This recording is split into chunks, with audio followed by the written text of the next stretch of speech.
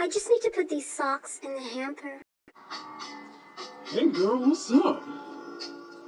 Where you been? You new here? Where am I?